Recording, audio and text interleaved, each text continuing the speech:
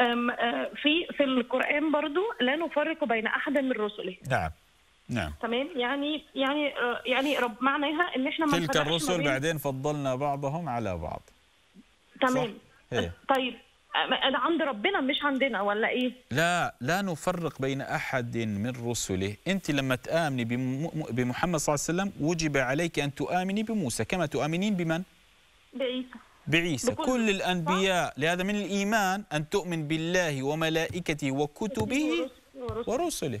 مثل ما تآمنين ببعثة محمد صلى الله عليه وسلم غصب عنك تآمنين بموسى وعيسى. طيب ليه؟ ما بقولش ليه ما بقولش بقى؟ يعني آه، زي ما بقول سيدنا محمد ليه ما بقولش آه، محمد صلى الله عليه وسلم آه، ما اقولش ليه عيسى صلى الله عليه وسلم؟ عادي تقدر تقولي صلى الله عليه وسلم. عادي ممكن أقولها إيه، يعني تقدر تقولي صلى الله عليه وموسى وسلم وموسى وموسى صلى الله عليه تقدر. تقولين هي نعم إحنا أحيانا. نقول عليه السلام لأن بعض العلماء قال عرف عن نبينا بالصلاة والتسليم وعن الأنبياء عليهم السلام وعن الصحابة بالرضا وعنا بالرحمة هذا ما نصه النووي أظن فلكن بعض العلماء قالوا بعض. العلماء خلنا نكمل بعض العلماء. قالوا لا بأس تقول عيسى عليه الصلاة والسلام علمتي؟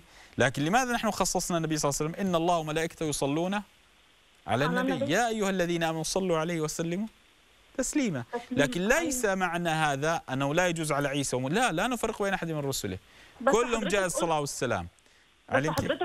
إن القرآن بيفسر بعضه وفي آية أخرى بتقول وبشر الصابرين الذين أولئك عليهم صلوات من ربهم ورحمة. بالظبط كده. وهم أكيد صابرين لأن هم أنبياء. فإحنا ممكن نقول عيسى عليه الصلاة والسلام. طبعا طبعا طبعا طبعا. صح؟